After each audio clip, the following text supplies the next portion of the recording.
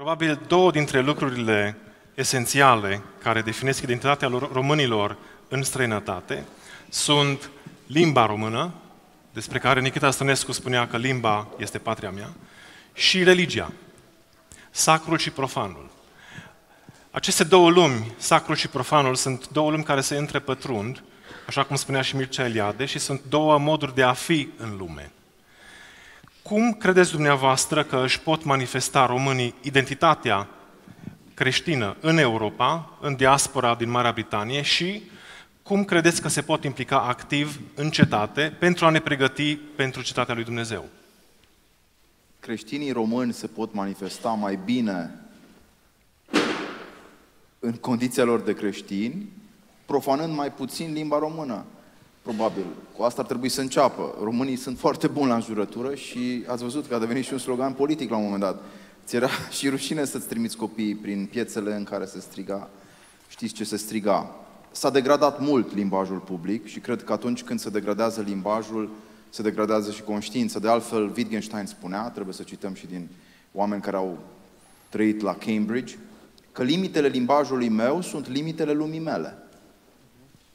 Și de altfel s-au făcut studii cât se poate de serioase, sociologii și psihologii au văzut că în uh, închisori, mai ales când e vorba de recidiviști, cei care cunosc doar 300 de cuvinte tind să repete aceleași fapte. Există deci un orizont al limbajului care îți deschide sau îți închide calea către cuvânt. Cuvântul fiind, în primul rând, pentru noi, cuvântul lui Dumnezeu.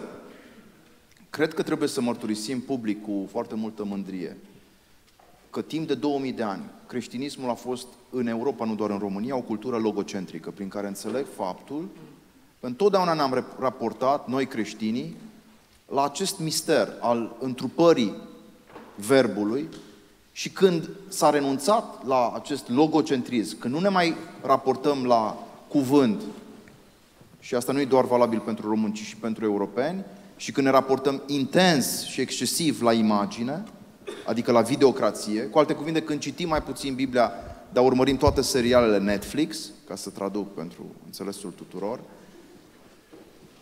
când suntem dispuși să plătim vreo 20 de dolari pe lună un abonament la nu știu ce HBO, dar ni se pare scumpă o carte a, lui domnul, a domnului Papahagi sau a părintelui Tofană de numai 20 de lire, pierdem.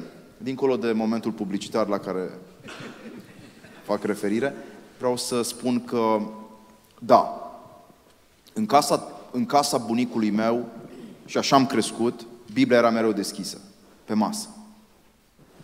Și de fiecare dată când veneam de la biserică, duminica, îl vedeam continuând să citească din Scriptură, ascultând predicile, o să vă uimesc, ale lui Iosif Țon, pe casetă, și cultivând mereu această raportare la Scriptură. Eu datorez apropierea mea de Dumnezeu îndemnului pe care l-am primit la 16 ani de la Părintele Teofil Pârâianu, care mi-a spus, apropo de disciplină, era un om nevăzător și știa Biblia pe de rost, mai ales uh, Noul Testament și Psalmii, și mi-a spus, Mihai, este mai greu să fii creștin decât să fii intelectual, iar a fi creștin începe prin a citi Scriptura, cuvântul, minim două capitole din Noul Testament în fiecare zi. Credeți că românii se vor comporta altfel în lume, în familie, în societate și în biserică chiar atunci când vor redescoperi frumusețea absolută a textului revelat. De aceea vă mărturisesc că am și pornit acest uh, ciclu amatoricesc de conversații cu profesorul Adrian Papahagi, poate le-ați văzut, poate nu le-ați văzut pe YouTube, conversații despre marile cărți ale Bibliei. Și am vorbit despre Cartea Genezei, și am vorbit despre Decalog și vom vorbi în curând și despre misterul Crăciunului, pentru că noi simțim la, iată, 40 de ani, că nu ne putem încununa proiectul academic și cultural în România fără să vorbim despre Cartea Cărților. Până la urmă, orice om care a fost uh, educat în marile școli ale lumii trebuie să se întoarcă la Scriptură. Dacă C.S. Lewis a făcut-o, dacă Tolkien a făcut-o, dacă Wurmbrand a făcut-o, dacă Steinhardt a făcut-o, trebuie să o facem și noi și cred că asta este sensul uh, de plin apologetic al prezenței noastre, atât în mediul online, cât iată și aici, față către față. Vă mulțumesc! Mulțumesc.